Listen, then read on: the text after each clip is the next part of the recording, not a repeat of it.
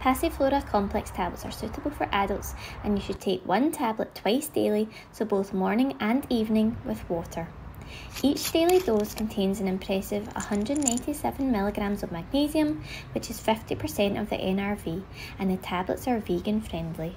These fantastic Passiflora complex tablets combine extracts of fresh Passiflora together with other herbal ingredients including valerian and lemon balm, plus some key essential nutrients including magnesium and zinc in order to offer nervous system support.